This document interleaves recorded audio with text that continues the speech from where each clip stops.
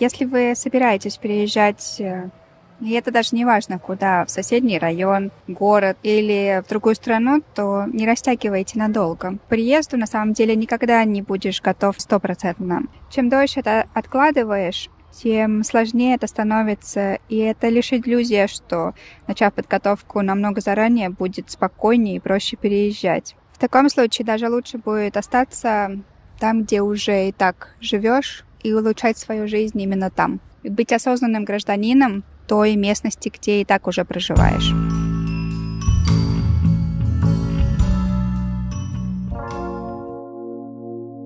Мой личный опыт переезда достаточно разнообразный. Первый переезд у меня был очень длинный. Мама мне лет восемь сказала, что, скорее всего, мы переедем в Финляндию, потому что она встала на очередь как возвращенка. Только вот в 13 лет, когда мне исполнилось буквально через несколько дней, мы переехали в Финляндию. Лет пять э, мы ждали переезда.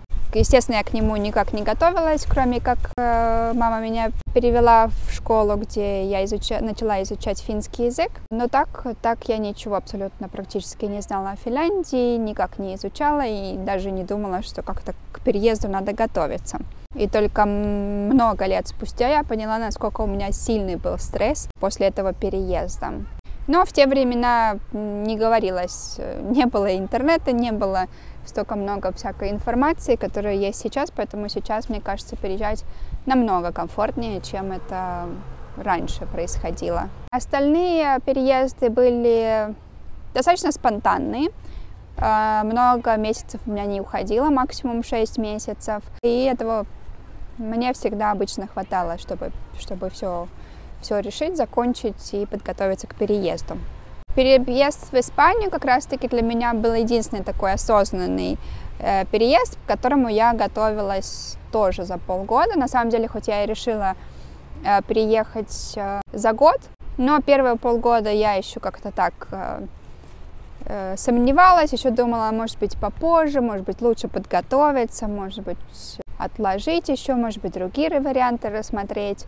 Э, но вот как раз за полгода до переезда все так сложилось, что я поняла, что ждать уже нечего, то есть надо действовать прямо сейчас.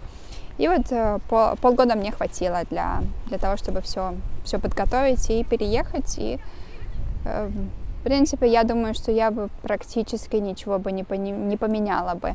Я как раз в, в переезд свой шла по всем этим пунктам, о которых я расскажу в этом видео.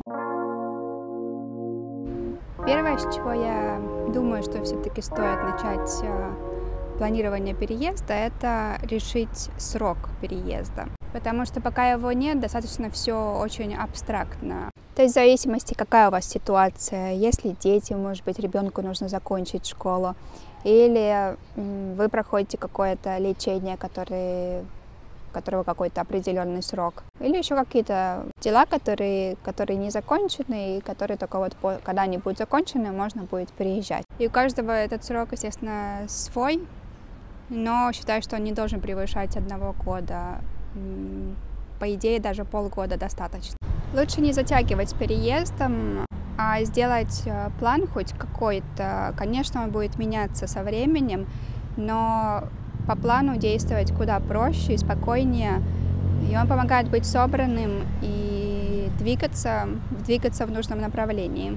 В моем случае я могла, в принципе, в теории переезжать когда угодно, не считая того, что ну, надо было накопить денег. Я выбрала для себя осень, э, потому что летом в Испании сезон, э, он заканчивается как раз в октябре, и я поэтому, основываясь на этом, я подумала, ну, летом как раз э, жарко тут, сезон, все дорогое. Лето я лучше проведу в Финляндии.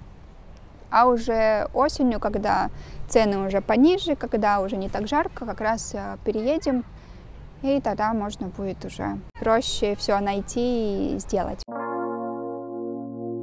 Другой важный пункт – это посмотреть, какая у вас ситуация сейчас на данный момент. И пройти по всем пунктам вообще в своей жизни. То есть, э, если у вас запланировано через год переезд, э, я не знаю, может быть, где вы проживаете, может быть, э, стоит переехать в меньшее жилье, чтобы не тратить деньги зря. А, может быть, вы собирались покупать машину, нужна ли вам машина или наоборот. Может быть, собирались покупать, я не знаю, какую-то мебель в дом. Уже зная срок переезда, уже отпадает вообще это эти планы покупать что-либо. Скорее всего, даже наоборот, ничего уже не покупать.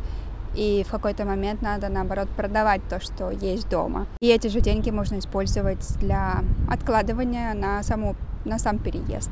То есть отказаться от чего-то уже ненужного, может быть, уже можно э, заранее, не ждя до последнего момента. Э, может быть, нужно сделать новые паспорта или оформить какие-то другие документы. У меня даже с паспортом я вот за полгода стала смотреть. И думаю, ну что, у меня еще полгода есть время сделать новый паспорт. Вышло совсем по-другому, потому что очереди были 3-5 месяцев. То есть мне пришлось вообще в другой город ехать, чтобы быстрее сделали мой паспорт, потому что иначе я уже впритык его меняла перед перед э, переездом. Русский паспорт я на тот момент могла бы тоже бы заняться намного заранее. Я подумала, ну что, я приеду в Испанию, у меня еще будет много времени, чтобы уже на месте разобраться с паспортом. А в конце концов вышло так, что я вот в конце прошлого года встала на очередь, чтобы получить время посольства. Времени несколько месяцев не было, я только сейчас получила на март время, а у меня паспорт просрочился уже в начале года, поэтому теперь э, новая, новые дополнительные сложности и лишние растраты, хотя я могла это сделать намного заранее, даже, возможно, в Финляндии, потому что в Финляндии я хотя бы знаю, как этот весь процесс проходит, а здесь, во-первых, нужно ехать в Мадрид, а из Малаги до Мадрида это как э, из Хельсинки в Питер, то есть это еще та поездка. Вот, так что все лучше делать э, заранее. Может быть, можно еще сделать э, доверенность на близких людей, чтобы без вас могли что-то делать, и вам не надо было бы вдруг э, в какой-то момент резко срываться и ехать за 3-9 земель, чтобы решать какую-то проблему, которую мог решить э, любой другой человек вместо вас. В моем случае я тоже знаю уже о переезде. Я стала решать какие-то проблемы, которые у меня были в Финляндии. Я должна была в государству. Пришло за много лет назад, и э, были неожиданные растраты, которые надо было тоже решить, и я хотела уезжать все-таки с решенными проблемами, а не оставлять, потому что э, хоть я и не планирую никогда больше переезжать в Финляндию, но никогда не знаешь, и лучше все-таки оставлять все, все в порядке, свои дела, чтобы можно было спокойно в будущем передвигаться. То есть, коротко говоря, просто почистить все то, что у вас сейчас в жизни есть, и подготовить это лучшим образом к переезду. По моему опыту я могу сказать, что неважно, сколько ты учишь язык, полгода или много лет до того, как переезжаешь, его начинаешь учить только когда уже переезжаешь в страну и начинаешь им действительно пользоваться. Да, конечно, есть исключения, есть люди, которые быстро и самоучки, и сами научаются говорить. Они хорошо обычно знают грамматику, но не факт, что это такой язык, на котором действительно на самом деле говорят. Поэтому, да, конечно, когда ты уже знаешь, что ты переезжаешь в страну, если там язык, на котором ты не говоришь, то Хорошо было бы его начать уже изучать до переезда, хотя бы просто основы, то есть не надо как-то очень заморачиваться с этим, но хотя бы основы и какие-то такие правила, которые тебе потом могут помочь, когда уже переедешь. В этом, конечно, очень сильно помогает э, смотреть как раз какие-нибудь фильмы, какие-то передачи, э, слушать музыку, чтобы уже этот язык был каким-то образом на слуху. Также я посоветовала бы сделать примерный план вообще переезда, то есть когда, когда вы уже переехали, с чего надо в первую очередь начать. А, то есть поизучать, э, как регистрироваться, как э, поступать в школу, как искать работу, как, я не знаю, э, какие мобильные связи есть, ну, какие-то такие обычные, привычные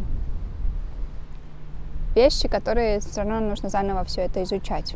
Также зависит, конечно, какие у вас, какое у вас гражданство, какая у вас семейная ситуация. От этого уже начинается процесс, то есть что после чего действует, какие сроки на каждое заявление уходят и прочее подобное. Для этого я, конечно, бы советовала бы обратиться к специалисту, потому что он может помочь, подсказать, что после чего стоит делать и как именно в вашей ситуации лучше поступить. И вы экономите очень много времени, потому что не вся информация на самом деле доступна, или, по крайней мере, не так понятно, пока это не сделаешь, поэтому всегда лучше обратиться. Также в зависимости от ситуации можно уже узнать, какие документы можно начать переводить. А так как перевод достаточно долгий и затратный процесс, а, то можно уже начать заранее и тогда каждый месяц по чуть-чуть какие-то документы переводить, что сделает тоже намного проще переезд. Еще я сюда бы добавила, что я заранее смотрела уже всякие разные сайты, которые где искать э, местную работу, смотрела вообще, какой здесь выбор работы, что можно делать.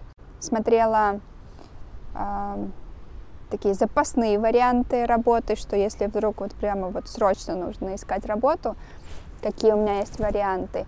И как раз вот когда мы переехали и обзванивали все квартиры, чтобы снимать на долгосрок, потому что без этого не получишь прописку и без прописки не, не отправишь ребенка в школу, то мы тогда поняли, что другого варианта у нас, как вот искать работу, то есть мы не можем ничем другим заниматься, как вот работу в первую очередь найти, потому что дальше дальше процесс просто не идет.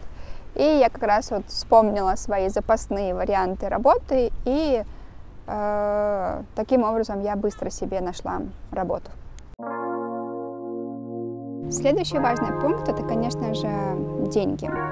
И хоть я их э, оставила практически под конец, но это, естественно, э, помогает очень сильно. И обычно советуют хотя бы на полгода иметь э, достаточно денег для проживания именно для вашего случая. Но реальность не всегда оказывается такой, и не всегда получается на такой долгий период все-таки набрать нужное количество денег. Но это было бы идеально, даже бы я сказала бы на год. Но чтобы понять, сколько вам нужно, конечно же, нужно подсчитать в той стране, куда переезжаете, сколько примерно стоит жизнь, аренда квартиры, еда, самое такое необходимое. Сколько вы обычно, да, как, как вы привыкли вообще жить и сколько вы готовы тратить тоже на себя. Но это, конечно, очень сильно зависит тоже, вы переезжаете без работы или с работой. Э, тогда уже другая ситуация. К примеру, у меня было так, что денег хватало на три месяца, и когда мы только переехали, сразу было понятно, что надо сразу искать работу. То есть у меня было времени найти работу три месяца. К счастью, я нашла буквально там за неделю, за две. Рассчитывала я, что три месяца мы можем прожить, поэтому надо было быстро действовать. Также я надеялась, что мы, пока мы приедем, и даже до того, как я начну искать работу, что вначале устроим ребенка, найдем квартиру и устроим ребенка в садик, в школу. Но вышло все совсем наоборот, потому что, опять-таки, в каждой стране есть свои законы, свои процедуры, своя цепочка, как это все происходит. И в нашем случае это было именно так, что вначале надо было найти работу, потом тогда уже можно было искать квартиру, и уже после прописки можно было отправлять ребенка в школу. То есть даже если у вас, допустим, нет проблем с работой, у вас уже работа существует, с которой вы можете переезжать, или у вас работа на новом месте, все равно никогда не знаешь, как там будет, потому что если у вас есть дети, как быстро получится э, их устроить в школу или в садик, э, от этого тоже очень много зависит, сможете ли вообще нормально работать. У нас ушло, опять-таки, тоже частично из-за наших незнаний, как это все происходит тут, ушло год, ровно год, чтобы Э, ребенок наконец пошел в школу. И это, конечно, очень сильно влияло, потому что только один человек мог работать из нашей семьи, и это немного усложняло тоже все, и как и найти квартиру тоже, потому что там требуют э, достаточно хорошую зарплату. Тоже я, допустим, когда смотрела видео про Испанию, практически все видео, которые там были, говорилось, что Да, мы вот только пошли в школу, и сразу же нам дали место. Я думала, ну вообще без проблем будет, мы тоже пойдем, и ребенок сразу пойдет в школу. Но в нашем случае это не было так легко, потому что все школы, куда мы не звонили, нам говорили, что мест нет. Как потом я подозреваю, на самом деле места, может быть, и были, но так как мы не, не мы просто звонили и спрашивали, а надо было посылать документы, то есть куда-то все-таки, наверное, бы ребенка бы устроили. Может, не в ближайшую школу, но куда-то можно было бы. А мы просто звонили в школы, и э, нам везде говорили, что, простите, мест нет. И, конечно, немаловажно это вообще узнать о том месте, куда вы собираетесь уезжать, какая у нее история, то есть смотреть какие-то, может, туристические видео этого места, какие-то исторические видео, читать, смотреть э, все то, что связано с этим местом, чтобы вы уже немножко знакомились, даже, не знаю, даже буквально с их какими-то там достопримечательностями заранее, с какими-то там местами, улицами, то есть это уже немножко приближает все-таки к новому месту, и уже оно не становится таким незнакомым, уже начинаешь с ним потихонечку знакомиться. Потому что тогда понять мне становятся, может, какие-то культурные нюансы. Я, к примеру, но это тоже относится к языку. А, я в свое время, когда учила испанский язык, а, я стала еще не... Ну, правила какие-то там знала, примитив знала. Я начала смотреть а, сериал испанский, который очень знаменитый тут. Он называется «Cuéntame cómo te ha ido». И он мне очень помог, чтобы немножко на слуху было. То есть я когда начала его смотреть, я ну, что-то понимала, большую часть я не понимала. Но со временем, где-то вот прошло 4 месяца, наверное, я вдруг начала понимать, что я смотрю сериал, и я, по крайней мере, уже вникаю, о чем там речь, и даже понимаю какие-то там более длинные тексты. И параллельно это такой еще тоже сериал, который показывает и историю Испании, который показывает юмор испанский, вообще как быт испанский, как люди раньше жили в течение лет э, дальше продолжали жить. То есть это все достаточно интересно и тоже э, сближает. Когда я уже сейчас переезжала, то я испанский уже достаточно хорошо знала, но я все равно смотрела тоже те же самые видео о Испании, э, сериалы тоже смотрела, современные уже. Там тоже все равно узнаешь какие-то новые выражения, какие-то новые слова. И это всегда, всегда полезно. И таким образом, э, особенно если ты каждый день у тебя на слуху язык, его намного проще изучить, чем если ты ходишь там, я не знаю, пару дней в месяц и зубришь. Опять-таки, есть люди, которые могут вызубрить и все запомнить. Э, я не такой человек, мне языки сложно даются, и э, у меня они изучаются именно на практике. Делитесь, если у вас еще есть что можно было бы добавить в мой список. Было бы интересно узнать тоже.